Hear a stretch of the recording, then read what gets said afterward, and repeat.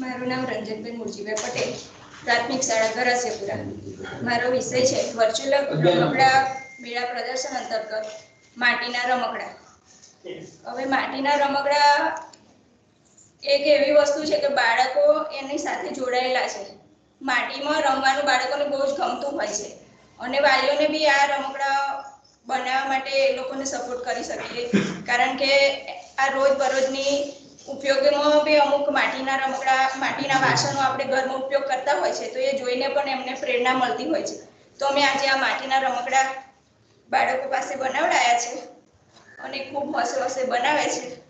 અને એમાં વિવિધ કારીગરો અને કારી ગણિત શિક્ષણ, પર્યાવરણ શિક્ષણ એ બધું માટીના રમકડા દ્વારા બાળકો મેળવી શકે છે. અને એના બાળકના કૌશલ્યો જે છે એનો વિકાસ થાય છે. જે શિક્ષણમાં બાળકોના અક્ષર એટલું તો થાય છે, એમની સર્જનાત્મક શક્તિનો વિકાસ થાય છે, કલ્પના શક્તિ વિકસે છે, આંખો અને આંગળાઓનું સામંજસ્ય કેળવાય છે.